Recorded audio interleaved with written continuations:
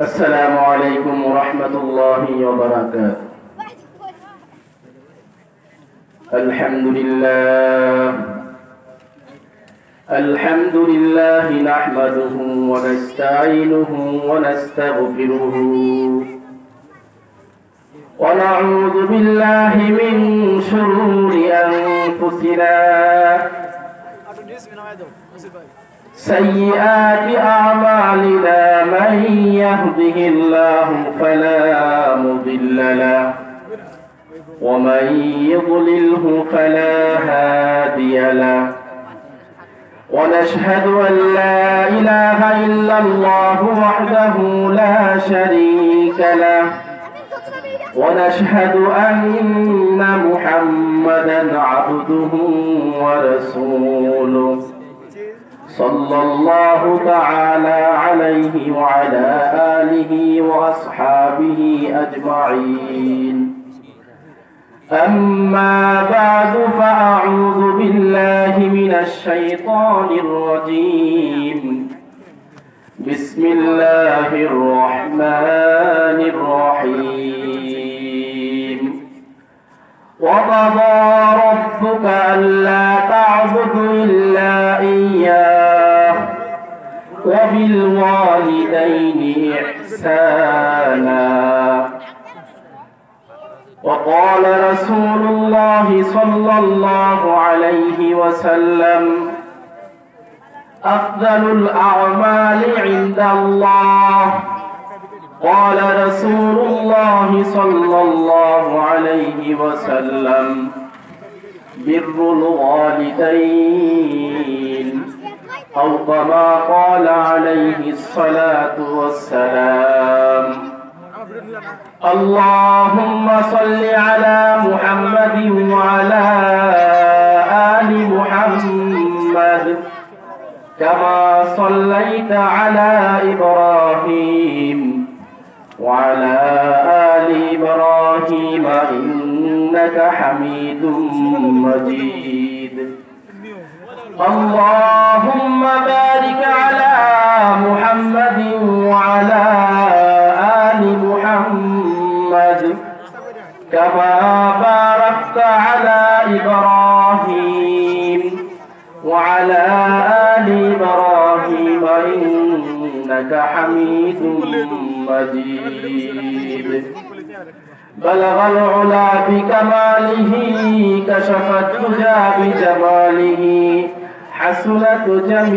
جميع خصاله صلوا عليه وآله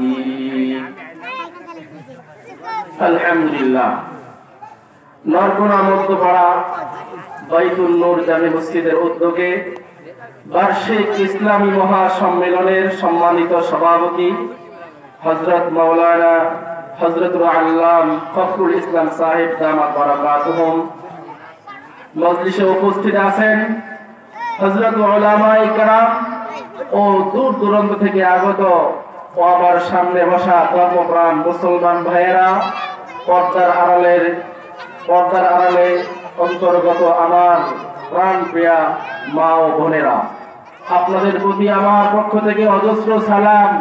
আসসালামু আলাইকুম ওয়া রাহমাতুল্লাহি সম্মানিত উপস্থিতি মহান রব্বুল আলামিন আমাদেরকে এই জালিসুর রহমান মজলিসে, জান্নাতের বাগান মজলিসে আমাদেরকে বসার তৌফিক দিয়েছেন। এই একটা নিয়ামত আল্লাহ তাআলা আমাদেরকে দান করেছেন। এই নিয়ামতটা হচ্ছে আল্লাহ তাআলার পক্ষ থেকে আমাদের উপর দেওয়া। আল্লাহ তাআলা বলেন, বান্দা আমার পক্ষ থেকে নিয়ামত পায়। আর সেই নিয়ামত পাওয়ার পরে বান্দা যখন আমি আল্লাহ তাআলার নিয়ামতের শুকরিয়া জ্ঞাপন করে, আল্লাহ তাআলা বলেন, আমি সেই বান্দার উপর আমার নেহামতকে আরও প্রসারিত করে দেই। বলি, সুবহানাল্লাহ। সম্মানিত উপস্থিতি, আজকের এই জালিসুর রহমান মজলিস, এই জান্নাতের বাগান মজলিসটা হচ্ছে আল্লাহ তাআলার পক্ষ থেকে একটা রহমত। হাদিসে পাকের মধ্যে আসছে যেই মজলিসের মধ্যে কোরআন এবং হাদিসের আলোচনা করা হয়, যেই মজলিসের মধ্যে আল্লাহর কালামের তাফসীর তাহলিল করা হয়, যেই মজলিসের মধ্যে নবীজির হাদিসের আলোচনা করা হয়, সেই মজলিসটা হচ্ছে জান্নাতের একটা টুকরা, জান্নাতের একটা অংশ। আজকে এই নরকোনা মধ্যপাড়া বাইতুল নূর মসজিদের এলাকাবাসী এমন একটা বাগানের আয়োজন করেছেন, যেই বাগানটা আল্লাহ তাআলা জান্নাতের বাগানের সাথে তুলনা করেছেন। মুহতারাম হাজিরিন, শুধু তুলনা করা নয় ইরশাদ করেছেন যে স্থানের মধ্যে আল্লাহ কালামের আলোচনা করা হয়, যেই জায়গায় নবীজির আমি নবীর হাদিসের আলোচনা করা হয়, সেই জায়গাটা আল্লাহ তার রহমতের স্থান হিসেবে কবুল করে নেন। শুধু রহমতের স্থান হিসেবে কবুল করে নয় দুনিয়ার জমিনের মধ্যে যেরকম কোন একজন রাষ্ট্রপতি, প্রধানমন্ত্রী কোন একটা স্থানের মধ্যে আগমন করে, সেই রাষ্ট্রপতির আগমন উপলক্ষে, প্রধানমন্ত্রী, প্রেসিডেন্টের আগমন উপলক্ষে চতুর্দিক দিয়ে নিরাপত্তার ব্যবস্থা করা হয়। আল্লাহ রাসুল বলেন, যেই জায়গায় জান্নাতের বাগান প্রতিষ্ঠা করা হয়, সেই জান্নাতের বাগানের চতুর্দিক দিয়ে আল্লাহ তাআলা তার ফেরেশতার মাধ্যমে নিরাপত্তার ব্যবস্থা করে থাকেন। মুহতারাম হাজরিন মুহাদ্দিসিন একরাম উল্লেখ করেন, এই নিরাপত্তার ব্যবস্থা, দুনিয়ার জমিনে মানুষ শুধুমাত্র এক শ্রেণির মানুষ তারা নিরাপত্তার ব্যবস্থা করে থাকে এক স্তরে। আল্লাহ পাক রব্বুল আলামিন তার এই জান্নাতের বাগানটাকে এমন নিরাপত্তা দিয়ে থাকেন, একজন ফেরেশতা, এইভাবে একজন এইভাবে একজন এইভাবে চতুর্দিক দিয়ে বেষ্টনী করে প্রত্যেকের কাঁধে আরেকজন ফেরেশতা, তার কাঁধে আরেকজন ফেরেশতা, তার কাঁধে আরেকজন ফেরেশতা। এইভাবে আরশে আজিম পর্যন্ত ফেরেশতারা ঠিকা লেগে যায়। কারণ হচ্ছে আল্লাহ রব্বুল আলামিনের এই জান্নাতের বাগানের মধ্যে আল্লাহ তাআলা নিজ কুদরতি রহমত স্পেশাল রহমত সকিনা বর্ষণ করতে থাকেন। আর সেই সকিনা বর্ষণ কার উপর নাজিল হয়? যে সকল বান্দারা বাড়িতে বসে থাকে, তাদের উপর নাজিল হয় না। যেই সকল বান্দারা ঘরে বসে থাকে, বাজারে বসে থাকে দোকান পাটে বসে, আড্ডা মারে চাষতলে বসে চা খায়, আশপাশ দিয়ে ঘোরাফেরা করে, তাদের উপর আল্লাহ তাআলা সেই সকিরা নাজিল হয় না। সকিরা নাজিল হয় ওই সকল মাহবুব বান্দাদের উপরে। যেই সকল মাহবুব বান্দারা জান্নাতের বাগানের মধ্যে প্রথম থেকে প্রবেশ করে যায়। আল্লাহ রাসূল বলেন, এরকম জান্নাতের বাগানের মধ্যে যখন একলাসের নিয়তে কোনো বান্দা কোরআনের আলোচনা শোনার জন্য নিজে আমলে নিয়তে প্রবেশ করে, সর্বপ্রথম একটি পা প্রবেশ করার দরুন আল্লাহ তাআলা তার জিন্দেগীর সমস্ত সগীরা গুনাহগুলোকে maaf করে দেন, বলে সুবহানাল্লাহ।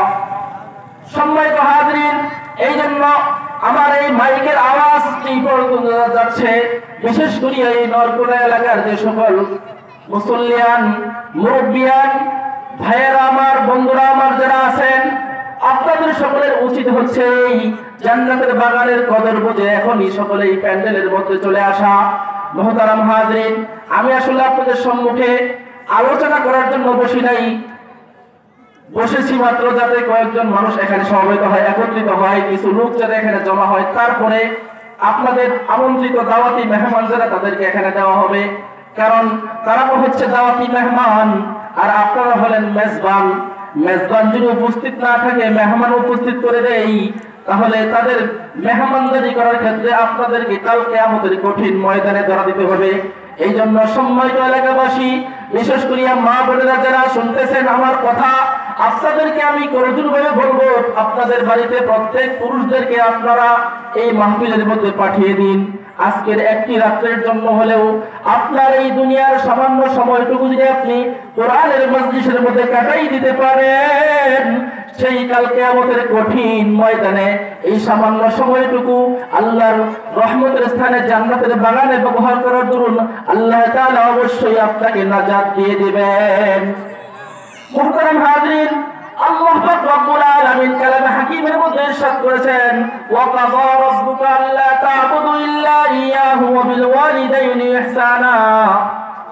আমি আল্লাহ পাক এই দুনিয়াটাকে পরিচালনা করতেছি, দুনিয়াটাকে আমি সৃষ্টি করেছি এবং এই দুনিয়াটাকে আমি আঠারো হাজার মাখলুকাতের দ্বারা সুসজ্জিত করেছি, অলঙ্কৃত করেছি।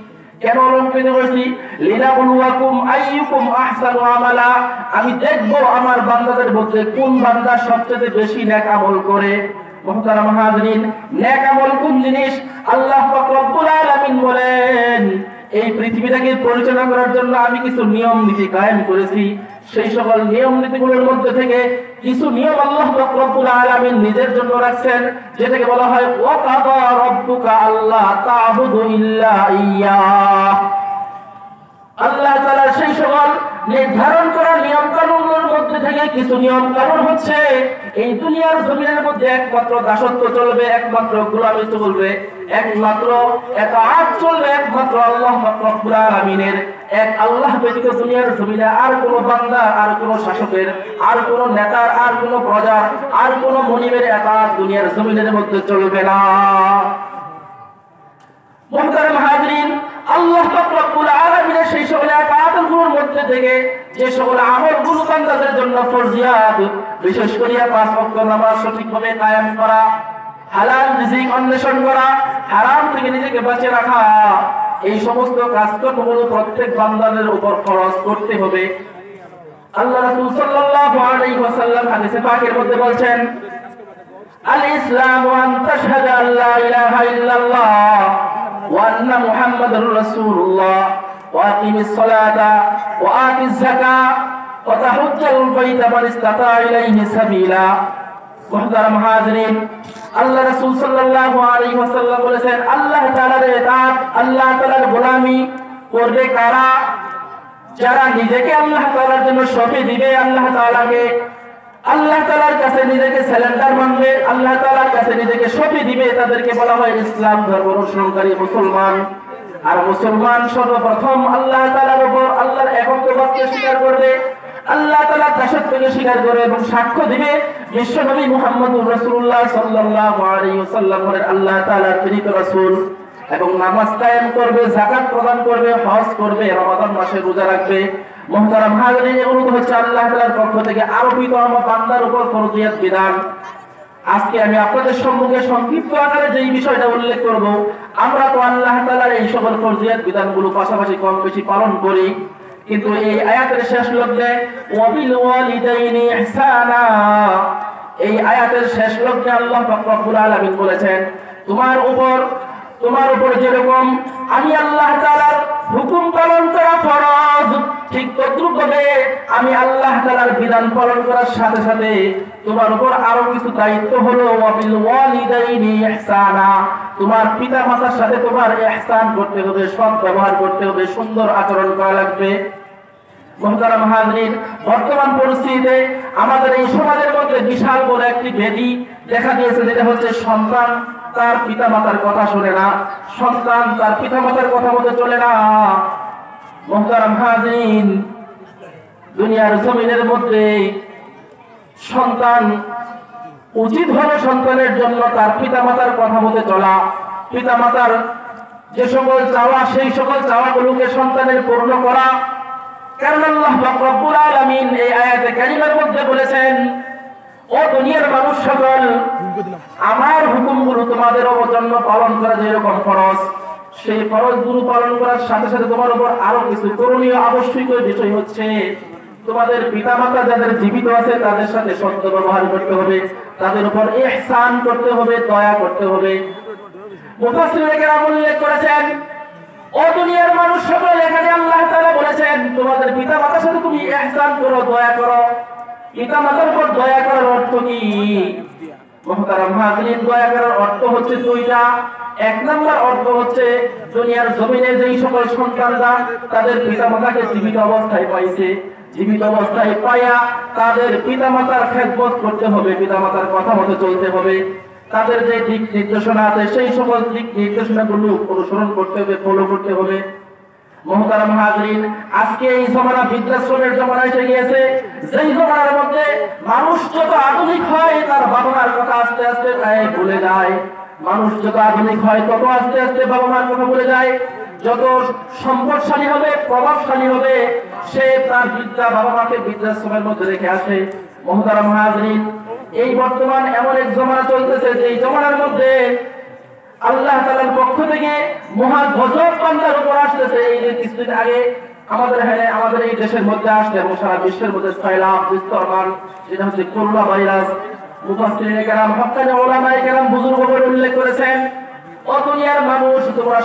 হয়ে আমার দেওয়া জমিনের উপর যেইভাবে চলতেছ, বুক ফুলিয়ে দরকার করে তোমরা জমিনের মধ্যে হাঁটতেছ চলতেছ। আমি তোমাদের কাছে সামান্য তোমার একটা, আমার পক্ষ থেকে একটা নির্দেশ, করোনা নামক ভাইরাস দিয়ে দিলাম। যেই ভাইরাসের কারণে তোমাদের অর্থনৈতিক ব্যবস্থা, তোমাদের সামাজিক ব্যবস্থা, তোমাদের পারিবারিক ব্যবস্থা, তোমাদের রাজনৈতিক ব্যবস্থা, তোমাদের ব্যবসায়িক ব্যবস্থা, সকল নিয়ম নীতিকে স্থবির করে দিয়েছে। এই সকল মহা গজব বান্দার উপর আসার পিছনে একটি মাত্র কারণ হচ্ছে, একমাত্র কারণ হচ্ছে আপনি, আমি, আমার পিতামাতার, আপনার পিতামাতার সাথে অসৎ ব্যবহার করতেছি। পিতামাতা জীবিত আছে, তাদের সাথে আমরা সৎ আচরণ করতেছি না।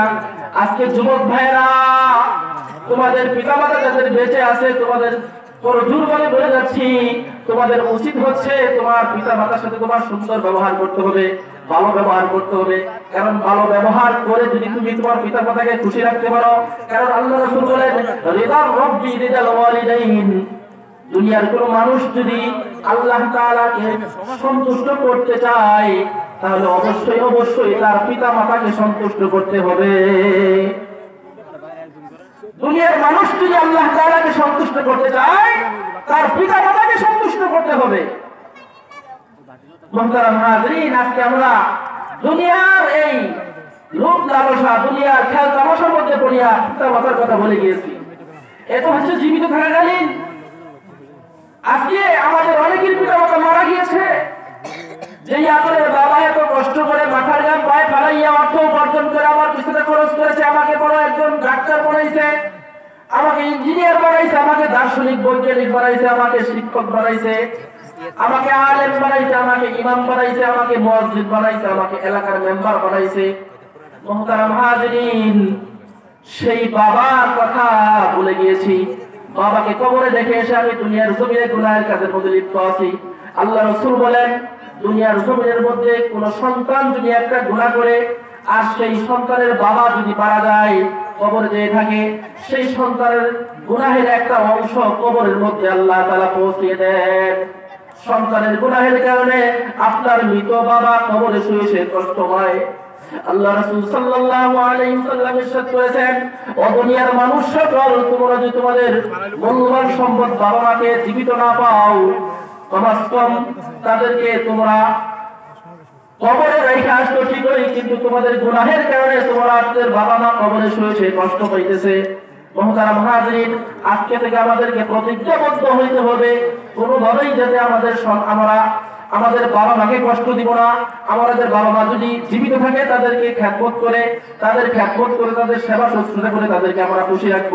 যদি আমাদের জীবিত বাবা মাকে যদি আমরা খুশি রাখতে পারি, তাহলে অবশ্যই অবশ্যই আল্লাহ আলমিন আমাদের উপর খুশি রাখবেন কারণ নবী সাইয়্যিদুল মুরসালিন জনাবে মুহাম্মদুর রাসূলুল্লাহ সাল্লাল্লাহু আলাইহি ওয়াসাল্লাম ইরশাদ করেছেন, ও দুনিয়ার মানুষ, তোমরা যদি আল্লাহ তাআলাকে মহব্বত করতে চাও, আল্লাহ তাআলাকে ভালোবাসা, আল্লাহর ভালোবাসা পেতে চাও, তাহলে অবশ্যই অবশ্যই তোমাদের পিতামাতাকে রাজি করতে হবে, খুশি করতে হবে।